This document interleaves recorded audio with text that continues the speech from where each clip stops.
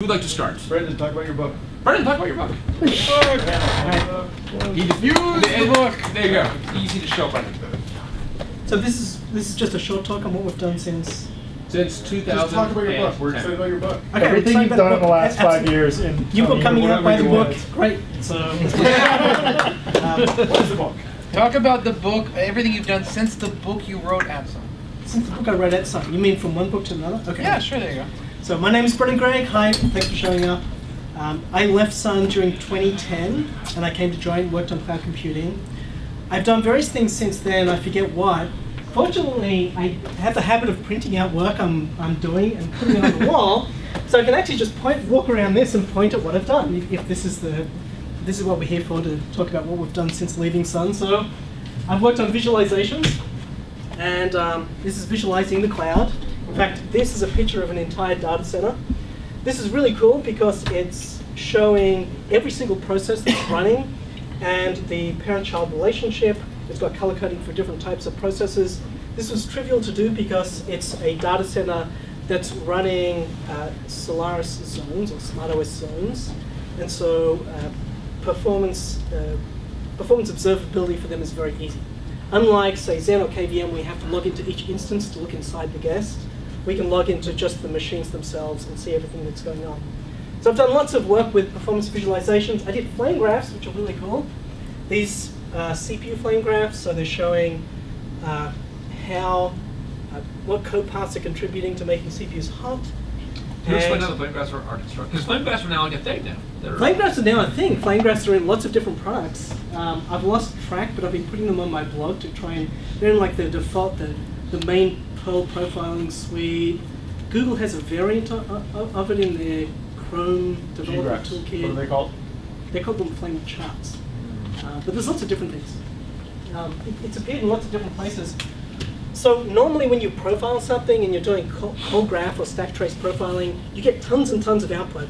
And it scrolls past the screen really quickly. What flame graphs do is visualize all of that data in one screen. And what I figured out was that previous visualizations tried to retain the um, time sequence for profiling data.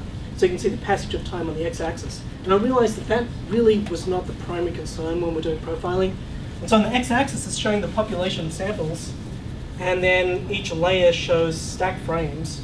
And when you look at a flame graph, I can visually see the wider paths consuming more of CPU resources, and the plateaus show the function that's on CPU.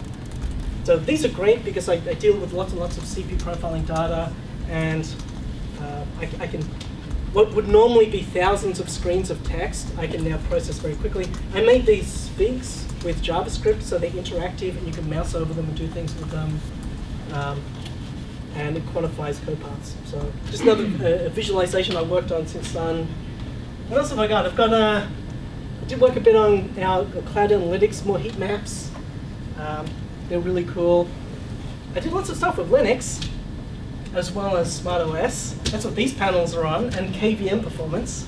Um, this actually shows some work I was doing with. Oh, Uh, you have to troll yourself. Don't I, troll I, yourself. I know. I'm gonna say it. I'm gonna say it. I have to say it. I, I spent so much of my life doing this that if I'm to accurately say what I did in the last three years, I have to mention SystemTap.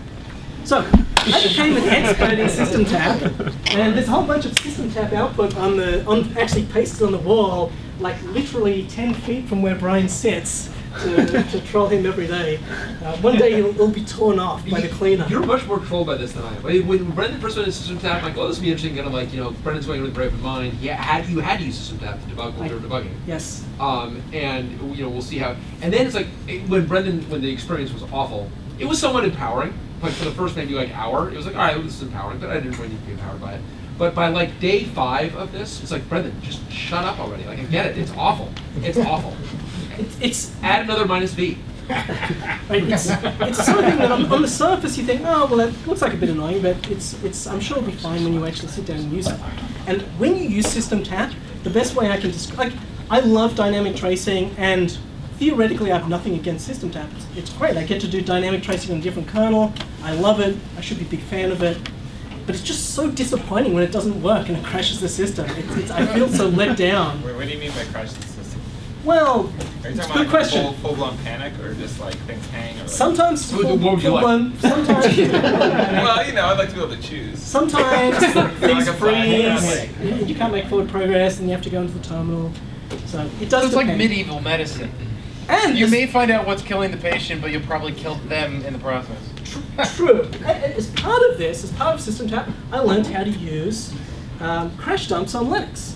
And I also learned how to use GDB. And there's a really great article on crash dumps. And I actually did my first crash dump analysis.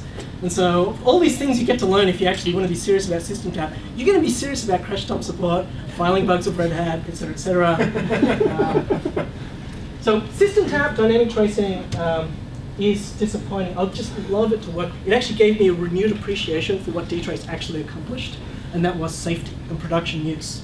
And it is so important, and you realize this when you use something that's kind of similar, and it just, you, you, I cannot, I do not run SystemTap on customer systems because I'm too afraid of bringing them down. So I have to reproduce their problem in the lab and then SystemTap it there. Well, you also you did a one failure mode that was so explosive under KVM, where I was they, it when we were in the KVM development, I'm like, all right, there, that's a KVM bug. Fuck, it's a KVM bug because there's no way it was triple fault basically. I'm like, it's not inducing a triple fault, so that's got to be a KVM issue. And I Brendan went through all the tasks of getting it up onto actual bare metal, and then it, it a triple fault reboot. It's really not. Yeah, no. Yeah, it's, it was fun. I guess the best way to, to summarize my experience with SystemTap would be to say, let's say I told you I've written this great new editor, and you're, you're trying to use this new editor, it's like, and you're told it's really popular, it's just like Vibe, but it's written by another company, you'll love it. And you go to use it, everything seems fine, you like, you save the, the file you edited, and then the first time you go to copy and paste some text, it crashes. And you say, what? Like, copy and paste doesn't work? And you ask the developers and they say, oh, yeah, you're the first person to try to do that. and you're like, like, what? Like, how can... So yeah, that's like system tap. And it's like, some of the bugs I found, it's, it's like, when I was just profiling CPUs and just profiling the stack traces, and it's like, you're the first person to try this. It's like, I, I, I cannot get my head around this. This isn't actually really being used. So, uh, anyway, not to disparage SystemTap too much, but yeah, I mean, I, I haven't. I hate to see what you have to say about a product you didn't like. right, right, but uh, no, it's, it, it was part of helping solve a problem. So was trace, it was KVM, it was really interesting. But the last thing I did was, um, oh, you also came up with new visualization called frequency trails. But the other What- thing, That Edward Tufte said was awesome. He, Every time they did so. Yes. True. he said one of them was awesome. Um, I think it's- it was. It's just hard to remember which. it was The- the- the- the- I think the two greatest accolades for Joyent engineers this year are Tufte complimenting Brendan, um, and then Brewer complimenting you, Dave, on your cap. The Dave had a, a write-up of the cap trade-offs with Manta that Brewer complimented. I'm pretty sure that Dave took his pants off. but- I'm so glad I was not there. So the last thing I did was the system's performance book, and it's in five volumes, volumes one to five. and it's because the publisher, they said they've got a problem when they're binding a 6,000 page book. As, as it turns out, you can't put that many pages together and glue it, like it falls apart. It's not 6,000 pages. It could have been 6,000 pages. I'd love it to be 6,000 pages because I wouldn't have to have spent so much time like coalescing and summarizing. As it turns out, the the last chapter ends at page 635. So it's only one book. This is the, the prototype covers. The cover mostly looks like that. Um, Systems Performance Enterprise in the Cloud, it covers Linux and SmartOS, the Sol- the Solaris family of operating systems, and uh, there's an up-to-date reference, does performance, really cool. It's coming out next month. It's being printed right now somewhere in the US. There are printers that are, that are printing it out on paper and putting covers on it.